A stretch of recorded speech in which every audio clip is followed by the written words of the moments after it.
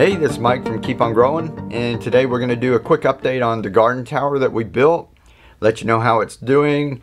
We're going to talk a little bit about the crop that we're growing in it, the kale, and we're going to address a couple of uh, questions or problems that arose too. So first off, you can see it's coming in very nice. Uh, we're really happy with it, and we've already been eating some kale off of here. Now, if you notice, you can see this one side has come in really well. And it's, it's full and it's bushy and it's going to continue to grow.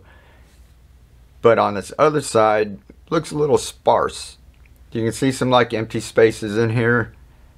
Now, the holes on this side, if you recall, if you watched the video where we built this, the holes are spaced evenly all the way around. So there's just as many holes on this side. There's just as many plants on this side as there are on the full side. And that's in part because the sun comes up over here. Let me show you. So in the morning around 10 a.m. we get a whole lot of sun in here all the way through midday. Then around 2 or 3 o'clock you can see we get shade again. So this one side doesn't get the morning sun and it gets afternoon shade and it's basically in the shade all day long.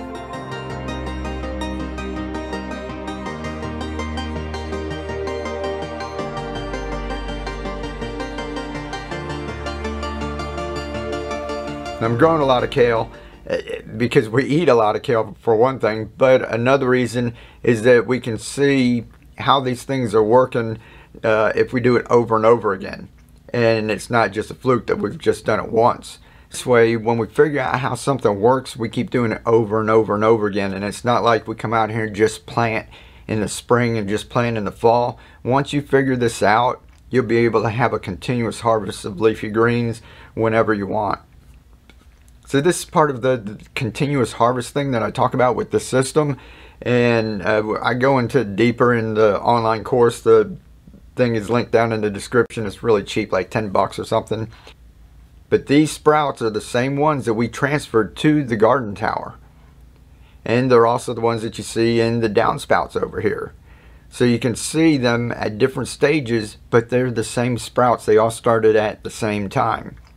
Now some people have asked me if you can leave them inside of these microgreen trays and the answer is yes if you just want to grow like baby greens and you can see you get a handful of baby greens but there's all those plants fighting for room, space, air, and nutrients.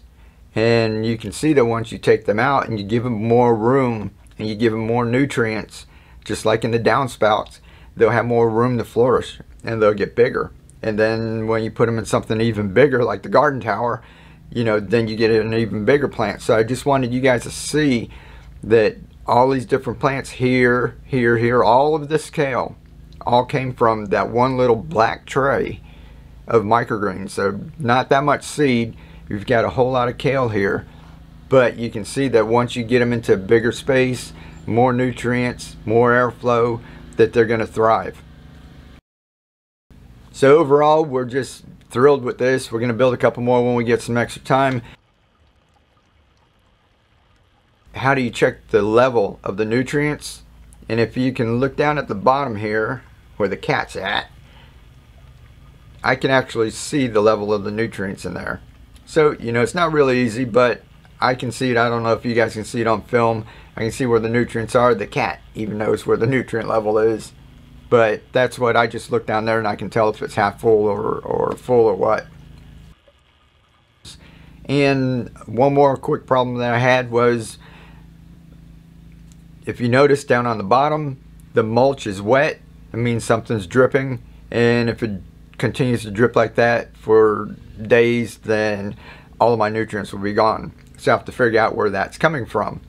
And one thing with these pool noodles, is that if your plant gets really big and it curves down, some of the water might drip out.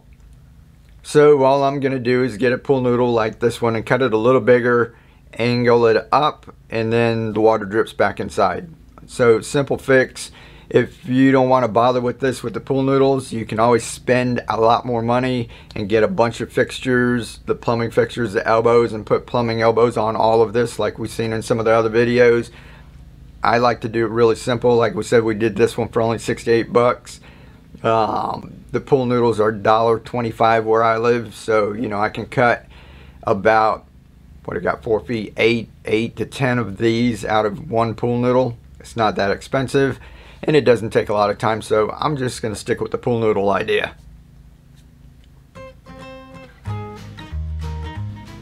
We're gonna let the greens grow for a little while, and I'm thinking I might pull these out and maybe put tomatoes in here or something. People are asking about tomatoes, so y'all let me know if you want me to see how a tomato plant would do in here. Alright, you guys get out there, like I said, do like you always do and just keep spreading the love. We got people all over the world are growing like this and, and that's all thanks to you guys. You guys are wonderful. We'll catch you next time. Live to inspire, keep on growing, be the change. Much love